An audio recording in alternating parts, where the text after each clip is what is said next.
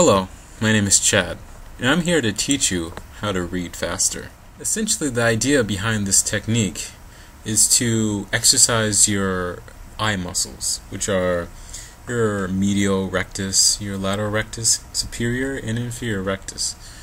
Now, once you exercise these, your eyes can move very fast. So you can scan the page and it will take you half the time. Now, I'm going to show you how to do it. First of all, I'm going to move this follow this really closely. Follow this really closely. Move it to the side. Follow it. Concentrate. Focus. Focus. Focus on it. Focus. Focus. Now, another method of this is to actually concentrate on one thing and empty your mind of everything else and just concentrate on one single thing, and that's this. So now focus on this.